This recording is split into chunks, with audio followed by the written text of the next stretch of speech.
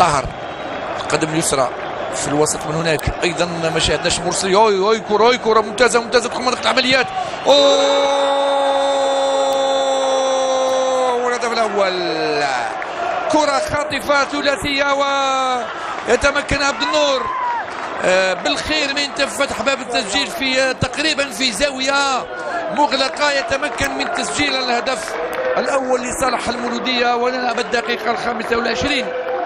لأنه آه، الكرة هذه شوف آه تقريبا في زاوية مغلقة لعبها في مباشره إلى